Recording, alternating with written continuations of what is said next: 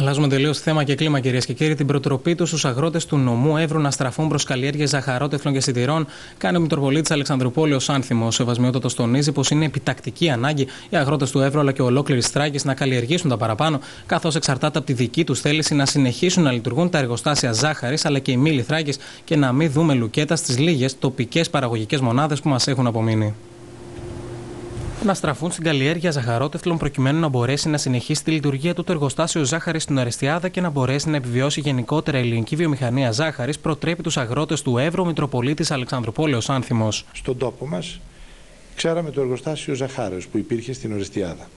Ξέρουμε τους μήλους της Τράκη που λειτουργούν εδώ στην Αλεξανδρούπολη τόσες δεκαετίες. Ξέρουμε αυτές τις δύο, είναι κι άλλες, αλλά αυτές τις δύο που τις θυμάμαι και τις έχω ζήσει γίνεται μια προσπάθεια να συνεχίσουν να υπάρχουν και να λειτουργούν.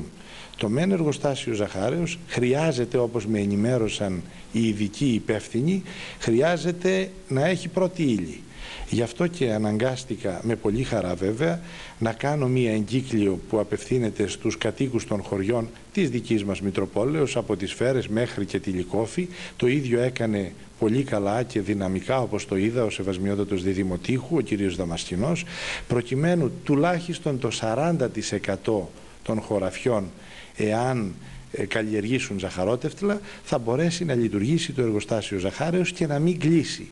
Εάν κλείσει ή αν πάει σε χέρια άλλα θα είναι πάρα πολύ δύσκολο να μπορέσουμε ξανά από την αρχή να το διεκδικήσουμε ή να το στρώσουμε στη δουλειά την οποία γνωρίζουμε όλοι οι ευρύτες από παλιά πώς προχωρούσε. Ταυτόχρονα, ο Σεβασμιότατος προτείνει στους αγρότες να ασχοληθούν σοβαρά και με την καλλιέργεια ενός διαφορετικού τύπου σιταριού, το οποίο θα αγοράζεται απευθείας από τους μήλους Τράκης. Το αποτέλεσμα έτσι θα είναι διτό και θα ενισχύσει και θα μπορέσει να συνεχίσει να παράγει μια τοπική επιχείρηση, αλλά και οι αγρότες θα βλέπουν την παραγωγή τους να φεύγει και να μην μένει αδιάθετη στις αποθήκες τους. Ζω πολύ κοντά την προσπάθεια που γίνεται με τις ε, καινούργιες αυτές ε, παραγωγικές καλλιέργειες εδώ στους μήλους της Τράκης. Ένα καινούριο σιτάρι από την Πολόνια που έρχεται, προσφέρεται, αποδίδει άριστα, καταπληκτικά και όλα αυτά μας δίνουν τη δυνατότητα πλέον το, το, το αλεύρι το οποίο παράγεται εδώ στην περιοχή μας λαμβανομένων υπόψη και των κλιματικών συνθήκων που δεν είναι ίδιες με την υπόλοιπη Ελλάδα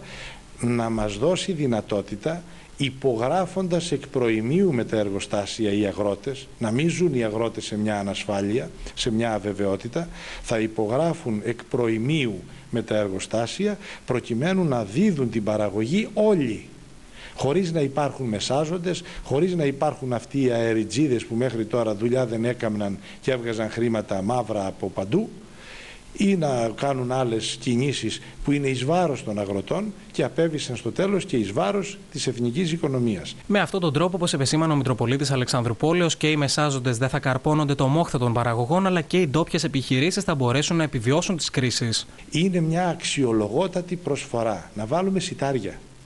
Να πάψουμε πλέον οι Έλληνες να ζητάμε από το εξωτερικό μονίμως με το χέρι ανοιχτό να ζητιανεύουμε και να παράγουμε αυτό που είναι η πρώτη ύλη για να ζήσουμε. Και το σιτάρι εδώ και τα ζαχαρότευτλα στο Βόρειο Εύρο.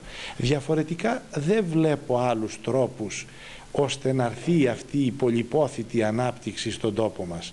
Ακούμε διαρκώς για ανάπτυξη και δεν μπορώ να καταλάβω από πού θα μας προκύψει. Ο Σεβασμιότατος έστειλε και ένα σαφές μήνυμα στους κυβερνώντες, τονίζοντας πως οι παραπάνω είναι τρόποι ανάπτυξης και όχι το να φτάσουν στα τάρταρα ελληνικοί μισθοί, ώστε να προσελκυθούν και να επενδύσουν εδώ οι ξένοι επιχειρηματίες. Εκείνο που έχω βιώσει μέχρι τώρα είναι ότι αυτοί που λένε για ανάπτυξη εννοούν και να το καταλάβουμε καλά όλοι ότι πρέπει να πάνε οι μισθοί των Ελλήνων 350 με 400 ευρώ προκειμένου έτσι να εφελκύσουμε επιχειρηματίες και επενδυτές από το εξωτερικό ώστε να μας έχουν εμάς σαν σκλάβους προκειμένου εκείνοι να κερδίζουν αυτό που πρέπει να κερδίσουν. Όταν λοιπόν αυτή είναι πλέον η προσπάθεια, αυτό σημαίνει ανάπτυξη και καλά θα κάνουν οι πολιτικοί μας να μας το πούν ξεκάθαρα. Όταν λέμε ανάπτυξη εννοούμε ρίξτε τα μεροκάματα, κάντε τους μισθούς μισθούς πείνας, προκειμένου ο επενδυτής να έχει ένα λόγο από το εξωτερικό να πει να πάω στην Ελλάδα και να μην πάω στην Νότια Βουλγαρία ή σε μια χώρα της Αφρικής. Αυτό σημαίνει ανάπτυξη.